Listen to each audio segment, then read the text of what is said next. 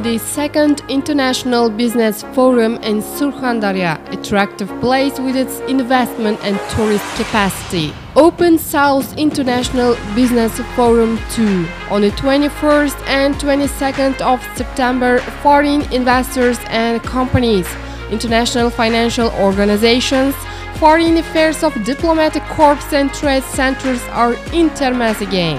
During the business forum, presentations of promising investment projects and agriculture industry trade fair. Open South International Business Forum 2. Love